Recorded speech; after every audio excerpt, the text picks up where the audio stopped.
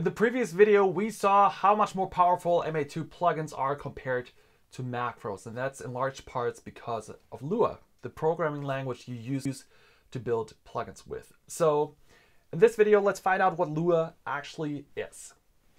Lua is a programming language that is best known for being an embeddable programming language.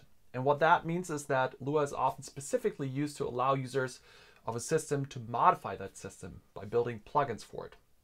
Mostly these plugins are called mods and are better known as custom levels and gameplay modes in games like World of Warcraft, Garry's Mod and Minecraft. Because yes, you guessed it, all of these games use Lua as the language to allow you to build custom levels.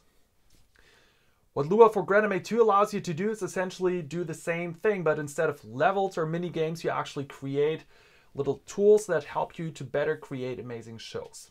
And the principle is the same as with the game mods. The manufacturer embeds Lua into their system and allows you to write custom plugins using Lua.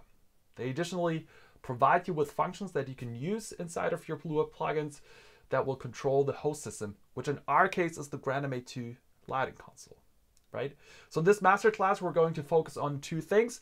Number one, learning Lua, the programming language itself, and B, learning how to use the functionality that GrandMA 2 provides you with that you can make use of in your plugins. And that's Lua in a nutshell. It's sort of like building a custom level for your favorite game, but instead of a custom level for a game, you're actually building custom tools for kick-ass light shows. Not bad, huh? Go ahead and over to the next video to find out how you can write your very first MA2 Lua plugin.